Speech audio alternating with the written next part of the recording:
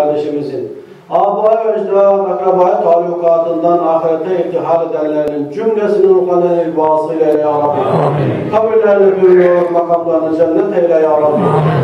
Anada hasıl olan sevabın duamıza uzaktan ve yakından teşrif edip canı gönülden el açıp amin diyen cemaatimizin. Aba ecdad ve akrabaya talukatından her ne kadar ahirete ihtihal edenler varsa Allah'ın da cem'i cümlesinin ruhlarını hediye edip vasıyla eyle ya Rabbi. Amin. Kabirlerini bir nur, makamlarını cennet eyle ya Rabbi. Amin. İlahi ya Rabbel Alemin şu mübarek günlerde de bizlerde bir Fatiha yok mu diyen bütün ehli imanın ruhlarında ehli vasıl eyle ya Rabbi. İlahi ya Rabbel Alemin bu evlenecek olan kardeşlerimize sağlık, sıhhat, afiyet ihsan eyle. Amin. Düzenli bir geçim ihsan eyle. Kendilerine salih ve saliha evlatlar nasip eyle. Kendilerine uzun ömür, hayırlı amel, geniş ve bol helal rızıklar nasip eyle ya Rabbi.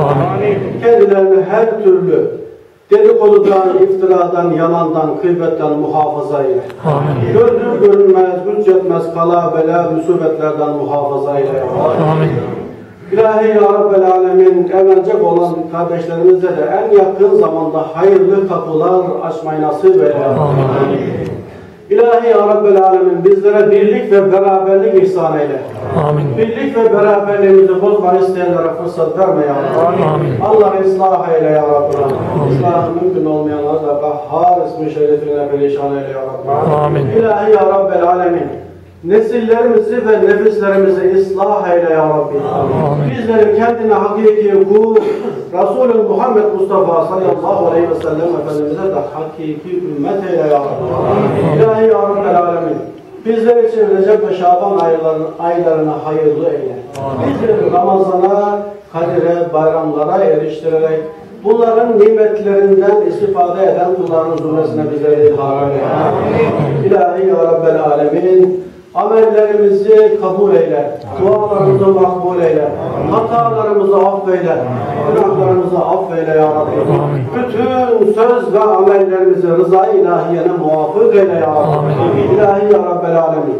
Peygamberimiz Hazreti Muhammed Mustafa sallallahu aleyhi ve sellem Efendimiz hayır adına sizden neler istemiş ve dilemişler, dilemişlerse bizler de istiyoruz, bizlere de lütfeyle ya Rabbi.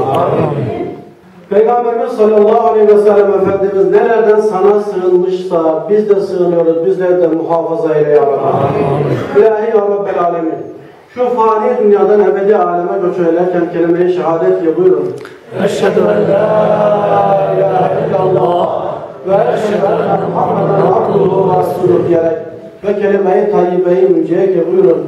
La ilahe illallah Muhammedun Resulullah diyerek kamil bir imanla huzuruna varmayı cümlemize nasip eyle ya Rabbi. Amin. Cümle ümmeti Muhammed'e nasip eyle ya Rabbi. Amin.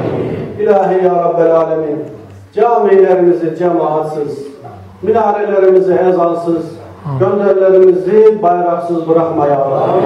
Bizleri vatansız ve imansız, Kur'ansız bırakma ya Rabbi. Bu müqeddesatımıza dil uzatanlara fırsat verme. Saldıranlara fırsat verme ya Rabbi. Bütün ehli imana uyanıklık, basiret ihsan eyle ya Rabbi. Birlik beraberlik ihsan eyle ya Rabbi.